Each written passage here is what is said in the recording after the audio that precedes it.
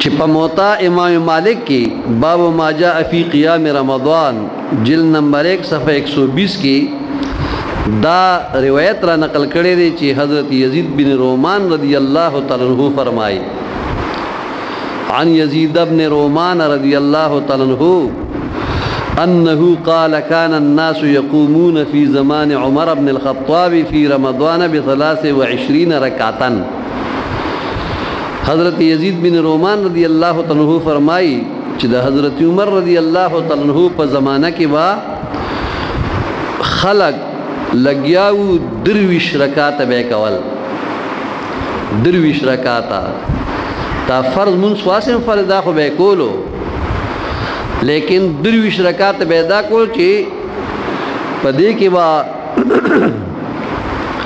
شل رکات تراوی او درې رکات به وتر نو دا امام مالک رحمت الله تعالی علیہ په خپل موتا کې دا روایت را نقل کړي صحابه کرامو با شل رکعات تراویح کول چونکه د دې وضاحت سره روان دي زه تاسو ته ویم په شل رکعات باندې د صحابه کرامو اجماع او ما تاسو ته وی چې اجماع د امت نه انکار کول کفر دی یو ډیر لوی جید عالم دی هغه ته د ملک العلماء خطاب ورکړی شوی حضرت علامه علاء الدین ابوبکر بن مسعود کاسانی رحمت الله تعالی علیه هغه بدای الصنایع کی دا روایت را نقل کړي کتاب الصلات فصل فی مقدار التراویح جلد نمبر 1 صفحه 644 روي ان عمر رضي الله عنه جمع اصحاب رسول الله صلى الله عليه وسلم في شهر رمضان على ابي بن كعب ایوی حضرت عمر رضی الله تعالی عنہ د رمضان په میاشت کې صحابه کرام راجمک د حضرت ابی بن کعب رضی الله تعالی عنہ په امامت نو دوی بس کول فصلى بهم في كل ليله 20 ركعه دوی با روزانه دي صحابه کرام شل رکعات کول شل رکعات تراویح به شل رکعات کولی ابی بن کعب رضی الله تعالی عنہ به امامو صحابه کرام به ولاړو حضرت عمر رضی الله عنه ورپسې خپلم ولاړو شل رکعات تراویح به کولی په جمع باندې او دې مبارک فرمایي چې ولم ينکر عليه احد و یو کس هم په هغه زمانہ کې د دین انکار نه کړي چې لکه دا تراویح او ترکات یو کس په صحابه کرامو کې دین انکار نه دی کړی ټول به شل رکعاته کول فیکون اجماع منهم علی ذلک نو په دې باندې په دې شل رکعاتو باندې د صحابه کرامو اجماع وشو دې ته اجماع د امت څومره صحابه کرامو ټول بشل رکعاته کول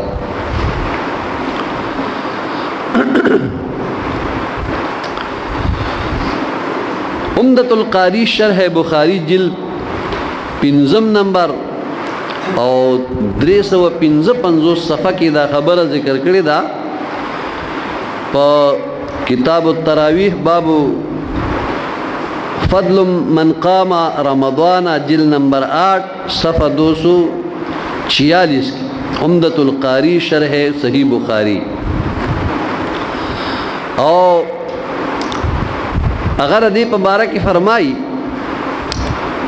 قال ابن عبد البر وهو قول جمهور العلماء وبه قال الكوفيون والشافعي وأكثر الفقهاء وهو الصحيح عن ابي بن كعب من غير خلاف من الصحابه یعنی علامه ابن عبد البر هغه رحمت الله تعالی علیه هم دا فرمایلی دي چې شل رکعات تراویح دا د جمهور علماو قول د جمهور علماو قول له کاغه علما د کوفی دی او کاغه علما د مذهب د امام شافعی رحمه الله دی او اکثر فقها هم دا فرمایي او دا صحیح خبره ده چې د ابی بن کعب رضی الله تعالی عنہ نه منقول دي په دې کې د صحابه کرامو کې یو قسم اختلاف نشته نو په زمانه د حضرت عمر رضی الله تعالی عنہ کې یعنی دا شل رکعات تراوی چې دي کنه نو دا په جمع باندې شوی دی او هر شپه شوی دی او په دې کې یو صحابي هم اختلاف نه دی کړی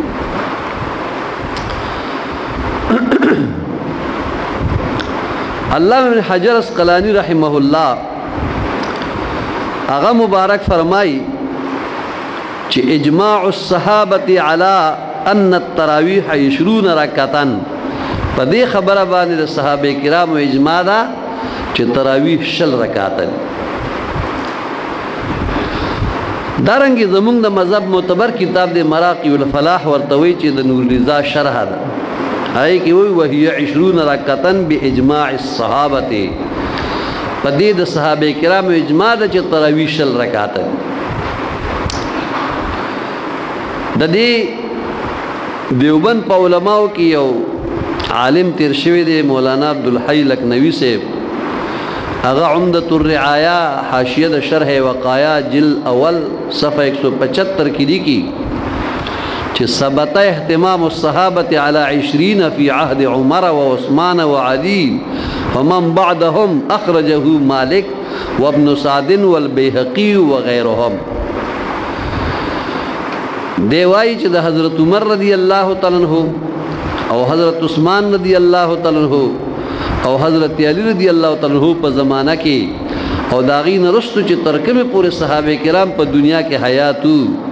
هغه شل رکعات التراویح امام هر شپه په جمع باندې کړي او دارنګي مضمون والا حدیث امام مالک رحمت الله علیه ابن سعد امام بهقي و غیره ټول داغي تخریج کړي دي نو په دې باندې اجماع ده او مولا علی قاری رحمت الله تعالی علیه فرمایي چې اجمع الصحابه علی ان التراویح 20 رکعتا د صحابه کرام ټول په دی باندې اجماع ده چې تراویح شل رکعات دي اوس دا شل رکعات تراویح کول دا د جمهور قول دی په دی باندې عمل جاری دی او دا تر اوسه پورې دی الحمدلله کم چې صحیح کتابونه د حدیثو یادېږي شپږ صحاح سته ورته وایي چې بخاری شریف دی مسلم شریف دی ترمذی شریف دی دارنګي ابن ماجه شریف دی نسائی دی ابو داود دی دې ته صحاح سته وایي شپږ صحیح احادیثو کتابونه نو په دې کې دا دریم نمبر چې ما یاد کو امام ترمذی رحمت الله علیه چا چې ترمذی شریف لیکلی دا امام ترمذی رحمت الله علیه فرمایي په ترمذی شریف کې کتاب الصوم باب ما جاء فی قیام شهر رمضان جلد نمبر 2 صفحه 215 امام ترمذی رحمت الله تعالی علیه فرمایي چې اکثر اهل العلم على ما روي عن علي وعمر وغيرهما من اصحاب النبي صلى الله عليه وسلم 20 ركعه یعنی د ډیر علماو په دې باندې عمل دی چې حضرت علی کرم الله وجهه او حضرت عمر فاروق اعظم رضی الله تعالی عنہ او نور صحابه کرام داغینا شل رکعات تراویح منقول بیا ورپسې فرمایي او هو قول سفیان الثوری وهو قول سفیان الثوری وابن المبارک والشافعی او دارنګي د سفیان سوری رحمت الله علیه او د عبد الله بن مبارک رحمت الله تعالی علیه او د امام شافعی رحمت الله تعالی علیه هم دغه اقوال هغه هم فرمایي چې تراویح چې دي دا شل رکعات دي وقال الشافعي هكذا او امام شافعی رحمت الله علیه داسې فرمایي چې ادرکت ببلدنا بمکه یصلون 20 رکعتا امام شافعی رحمت الله علیه فرمایي چې مونږ په خپل خار د مکه مکرمه کې په خپل خار د مکه مکرمه کې خلق چې دی په شل رکعات تراویح کولو باندې مونږ اکثر مندري دي چې په مکه معظمه کې حرم شریف کې بشل رکعات مون د تراویح کېده او په حرمینو کې اوسم دا سلسله روانه ده دو امامان دا تراویح کې یو امام لس رکاتو کې هغه رسو شي بیا بل لس رکاتو کې شل رکات تراویح حرمینو کې کی نو هغه طریقه دا هغه وخت نه چې را روانه ده اوسه پوری جاری ده حضرت مولا علی قاری رحمت الله تعالی علیه شرح نقایه کې دا خبره ذکر کی چې فسوار اجماعا لما روى البيهقي باسناد صحيح كانوا يقيمون على عهد عمر بعشرين ركعة وعلى عهد عثمان وعلي رضوان الله تعالى عليهم اجمعين یعنی دا شل رکعات تراویح په دې باندې د مسلمانانو اتفاق دې د پاره چې امام بهقي په صحیح سند سره دا روایت را نقل کړی دی چې حضرت عمر رضی الله تعالی عنہ حضرت عثمان غنی رضی الله تعالی عنہ او حضرت مولا علی رضی الله تعالی عنہ د دې په مقدس زمانو کې صحابه کرامو او تابعین عظام با شل رکعات تراویح کول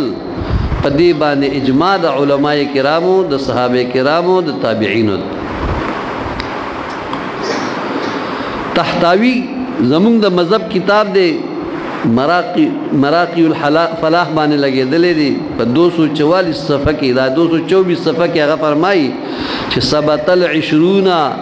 بمواظبه الخلفاء الراشدين ما عدا الصديق رضي الله تعالى عنهم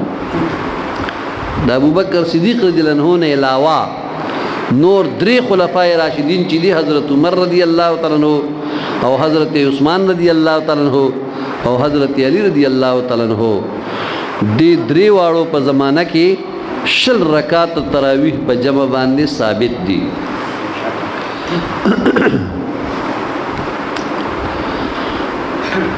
زمونږ د مذهب معتبر کتاب دی فتاوا شامی چې کلم علما فتوا ورکوي نو دا په شامی کتاب کې لیکلي دي علامه ابن عابدین شامی رحمه الله نو شامی زمونږ د مذهب ډیر مشهور کتاب او اوس پورې الحمدلله د شامی په فتوا باندې چارت نه دی کړی نو په فتاوا شامی کې دا خبره ذکر کړې ده رد المحتار کتاب الصلات باب الوتر والنوافل مبحث صلات التراویح جلد نمبر 1 صفحه 399 هغه فرمایي وهي 20 رکعتن هو قول الجمهور وعليه عمل الناس شرقا وغربا دا تراویح چې دي دا شل رکعات دي او د جمهور علماو قول هم دا دی کاغه د مشرق دی او که د مغرب د ټولې دنیا د مسلمانانو هم په دې باندې عمل دی چیرې تراوی شل رکعات دي اوس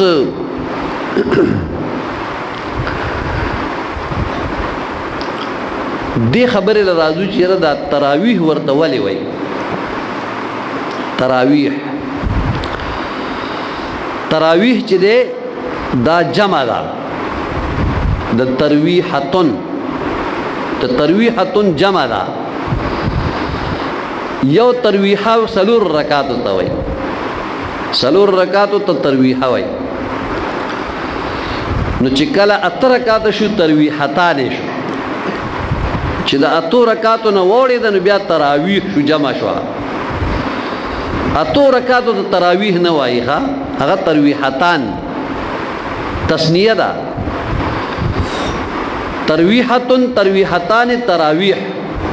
نو ګوره سلور رکعات چې شو یو ترویح شو اته چې شو دو شوي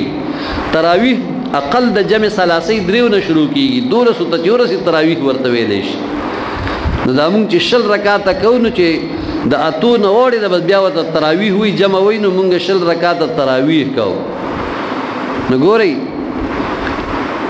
اوس کچري څوک کوم حجیان صاحبان د رمضان په میاش کې تلوي حرمینو شریفینو ته نو په حرمینو شریفینو کې شل رکعات تراویح وشي خلک لاړ شي چې کله د شپې یو بجې شي نو بیا خلک واپس راشي نو بیا غوي په اخیری عشره کې قیام الليل کوي هغه اتر رکعات کوي تراویح بیا شل رکعاتو کې قیام الليل اتر رکعات بیا یو بجې شروع کی